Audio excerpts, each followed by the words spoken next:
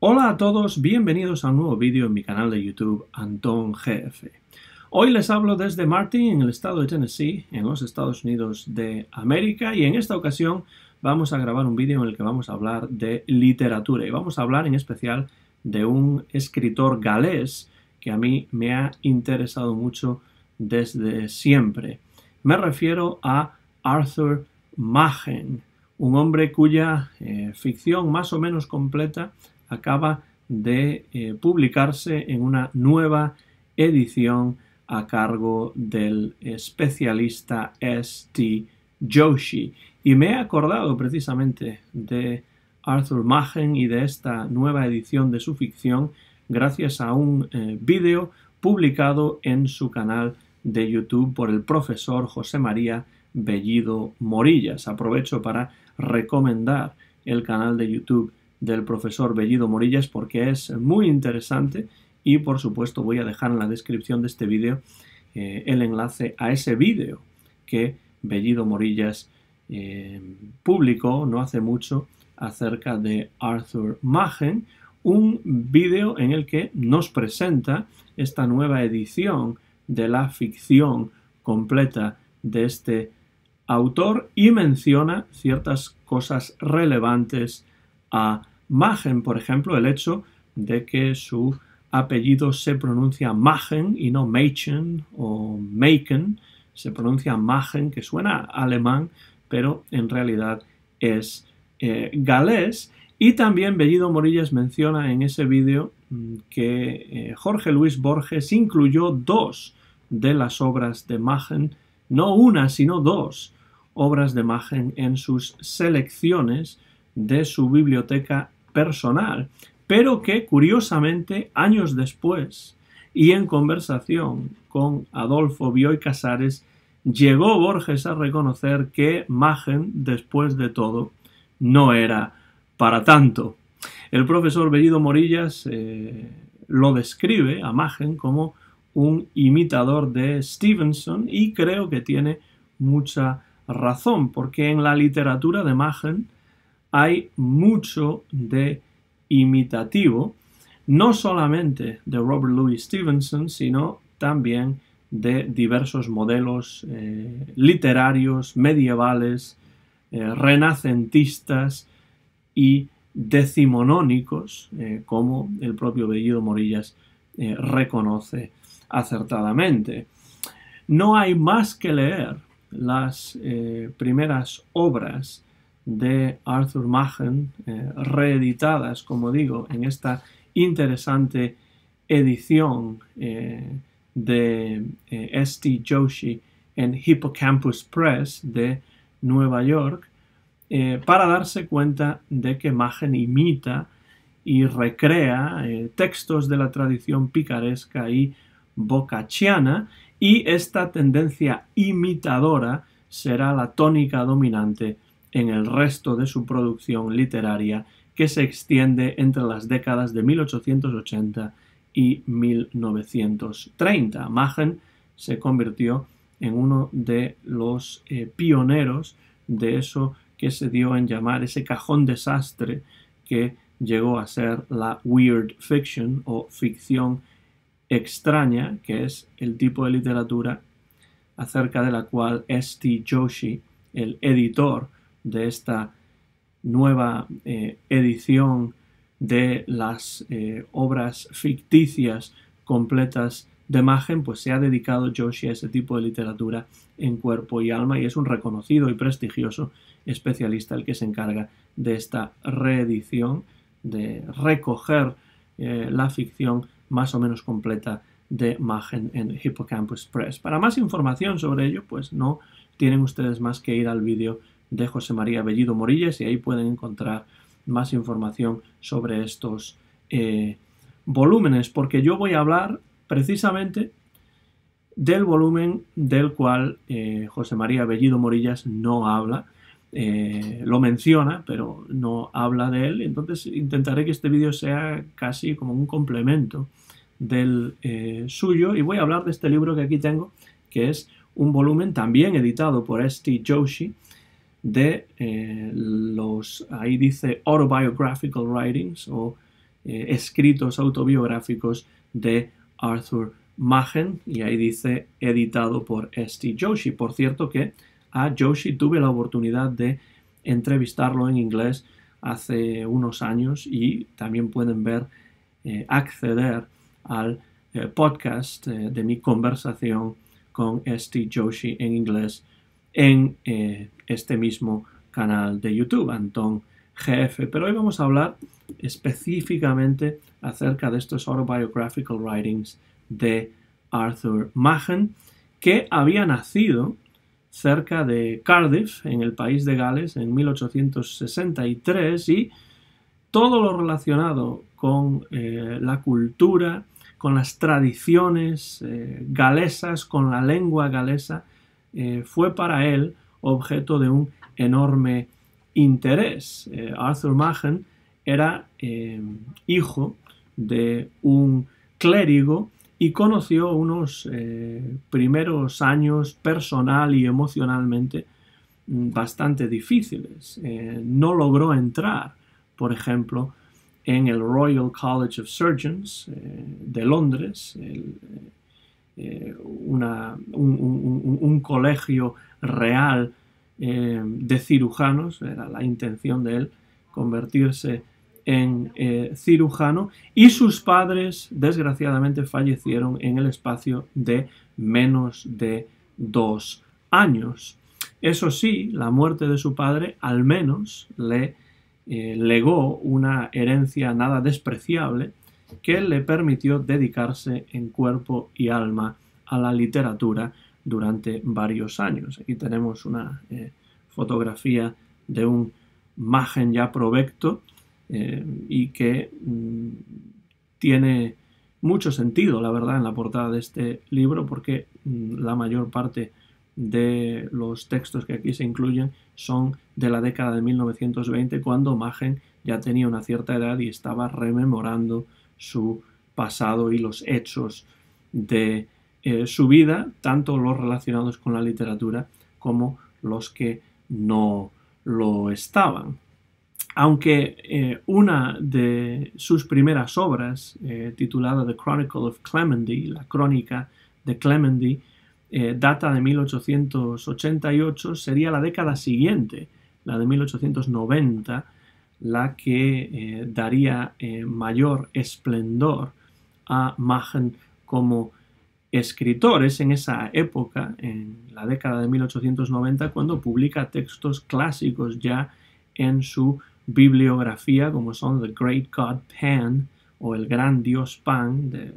año 1890-1891 o The Three Impostors, los tres impostores de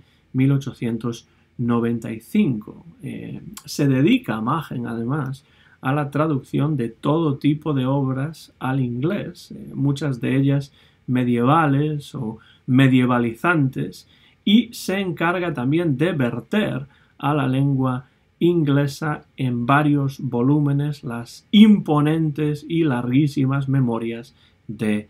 Casanova. Machen cerró el siglo XIX con la escritura de The White People o El pueblo blanco la gente blanca, eh, que es una de sus historias más conocidas, pero que no se publicaría hasta 1904, aunque se escribió por lo que parece alrededor de 1800 99. Después de la muerte de su primera esposa, Amelia Hogg, en el año 1899, esa herencia de imagen que le había legado su padre después de su muerte se va agotando y entonces eh, ha de ponerse a trabajar.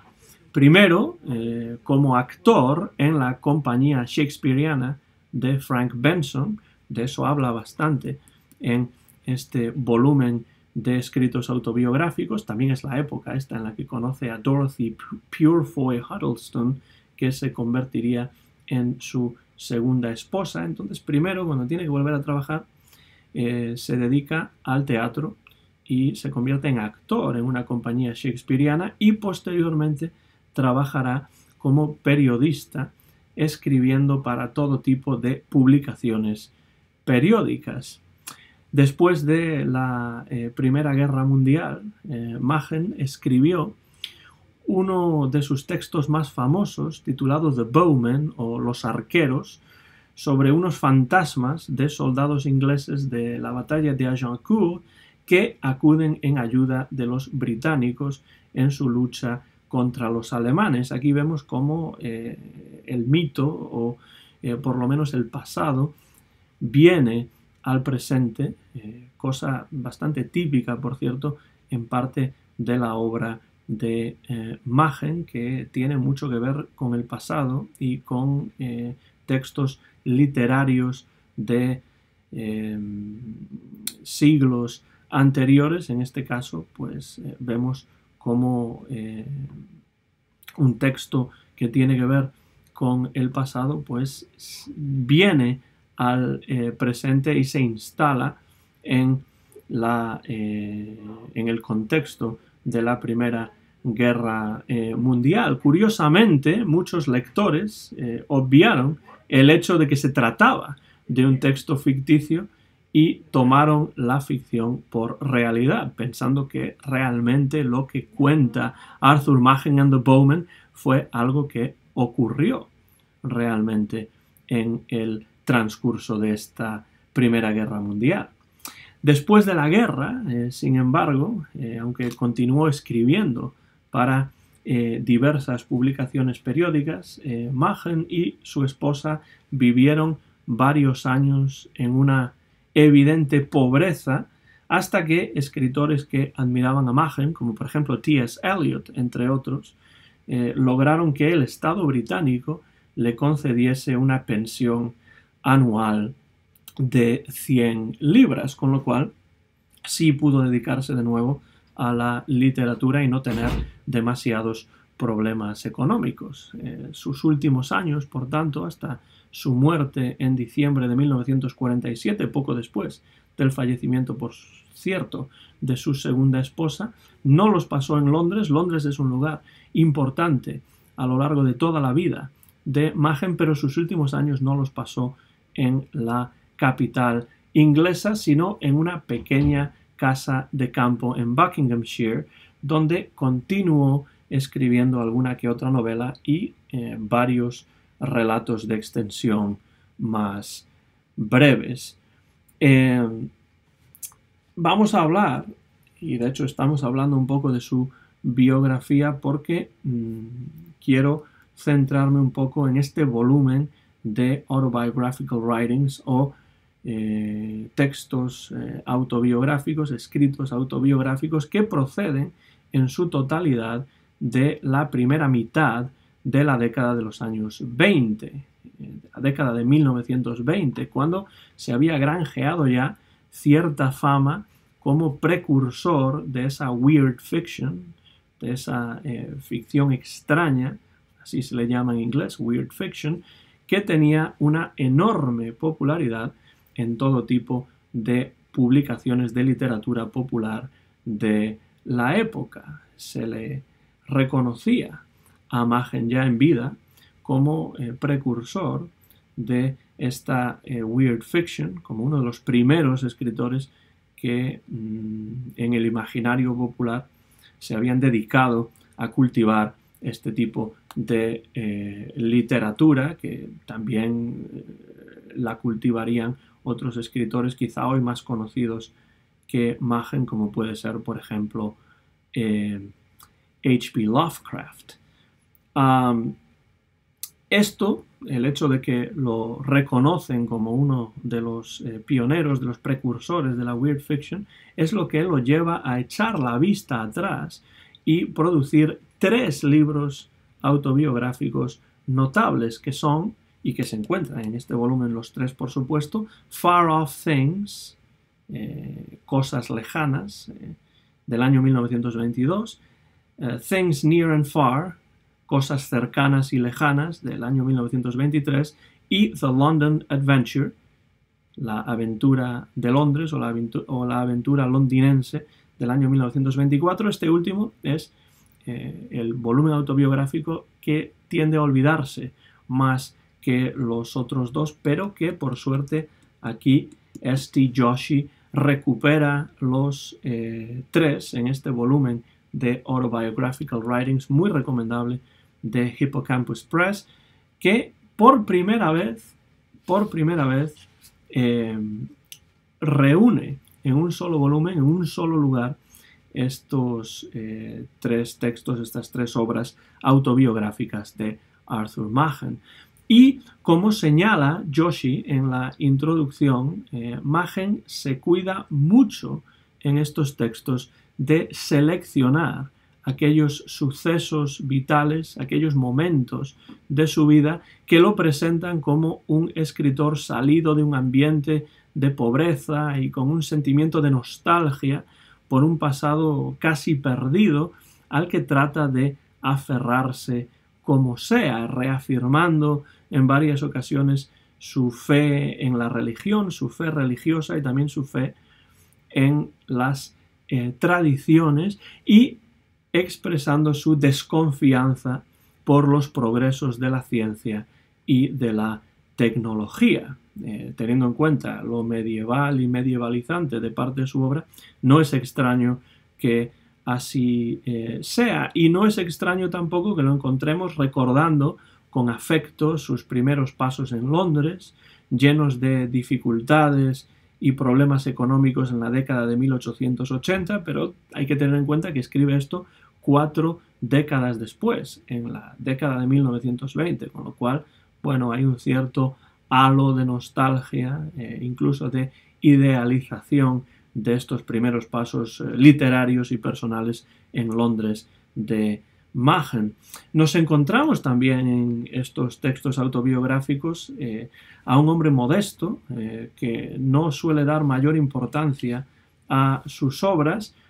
y también hay momentos muy interesantes que tienen que ver con su descripción del medio literario londinense de finales del siglo XIX y que también tienen que ver con esos años eh, a principios del siglo XX cuando trabajó en el teatro.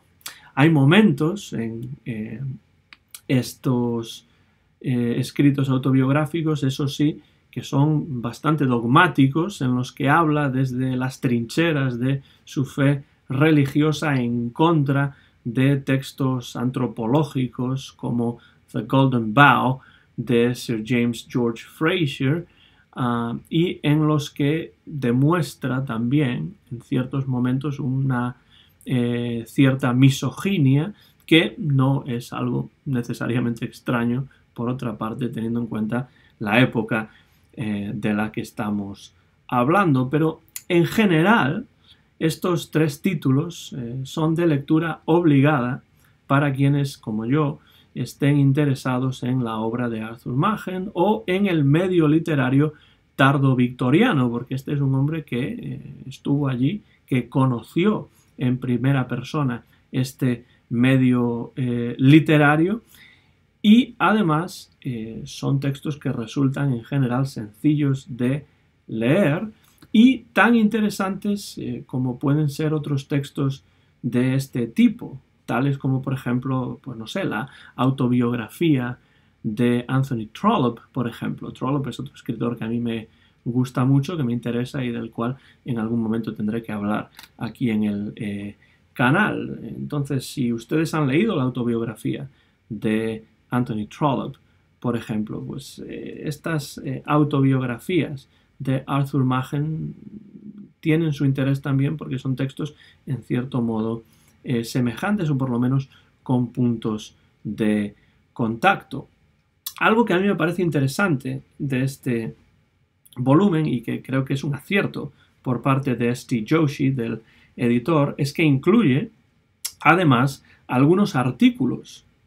escritos por el propio Magen y que Joshi considera que poseen un contenido especialmente autobiográfico. Y además, y esto sí que es muy curioso, incluye el volumen Precious Bombs, eh, Preciosos Bálsamos o Bálsamos Preciosos del año 1924, que es un volumen eh, muy curioso en el que Machen realizó, atención, una selección de reseñas de sus obras aparecidas en la prensa, algunas de ellas, por cierto, ni siquiera en inglés, sino en francés, que se incluyen aquí en el francés original también, y que nos dan una idea de la eh, recepción en su momento de la obra de este escritor galés. Es curioso que un eh, escritor reúna en un volumen muy poco conocido, por cierto, como es este Precious Bombs, que aquí se incluye, eh, pues, reseñas publicadas en la prensa de sus propias obras. No reseñas escritas por él sobre otras obras, sino reseñas escritas por otros eh, críticos, por otros autores, acerca de las obras escritas por eh, Machen. Así pues, eh, para ir concluyendo ya, tanto si estamos de acuerdo con la contradictoria visión de Machen que profesó Borges, que en un primer momento valoró a Machen, pero posteriormente se desdijo de lo que había dicho y dijo que no era tampoco para tanto como José María Bellido Morillas menciona en eh, su vídeo, tanto si estamos de acuerdo en esta contradictoria visión de Borges sobre Arthur Machen como eh, si no, los tres volúmenes de la ficción completa de Hippocampus Press y eh, editados por Esti Joshi, de los que habla Bellido Morillas en su vídeo. y además también este volumen complementario que son los autobiographical writings o escritos autobiográficos de Machen, eh, que nos ofrecen ahora eh, Joshi y también Hippocampus Press, eh, suponen, en mi opinión, la edición por ahora definitiva de la obra de este siempre curioso, aunque cierto es, imitativo autor galés que es Arthur Machen. Eh, si ustedes pueden leer en inglés, pues esta es una edición perfecta para entrar en la obra de Arthur Machen. Si no, si eh, eh, no pueden leer en inglés y prefieren leer traducciones al español, pues la editorial Valdemar ha publicado en traducción española y en buenas ediciones en general algunas de las obras de Machen como El Terror, como El Gran Dios Pan o como eh, la gente blanca o el pueblo blanco, the white people, que son algunas de las obras principales y eh, necesarias de Arthur Machen. Terminamos así este vídeo. No sé si ustedes conocen la obra de Arthur Machen o no. No sé si les interesa esta weird fiction de eh, escritores como Blackwood, como Lovecraft, como Machen, entre otros. Eh, pero si es así, si conocen la obra de este galés, eh, dejen comentarios por la parte de abajo de este vídeo porque a mí siempre me interesa saber qué es lo que piensan ustedes del contenido de estos vídeos. Les animo, eso sí, a entrar en la literatura de Arthur Machen, ya sea en versión original o en traducción española, porque a mí, por lo menos, pese a lo imitativo, que sí que lo es, me parece que en muchos casos vale la pena. Muchas gracias como siempre por su uh, atención. Eh, soy Antón García Fernández y me despido desde Martin en el estado de Tennessee, en los Estados Unidos de América, donde he grabado este vídeo en directo y sin ningún tipo de cortes. Mío es el copyright de este vídeo que se grabó a finales del mes de septiembre del año 2021 y que muy pronto van a poder ver en mi canal de YouTube Antón GF. Como siempre, muchas gracias por la atención y también por los comentarios y nos vemos muy pronto en mi canal de YouTube Antón GF. Muchas gracias y hasta la próxima ocasión.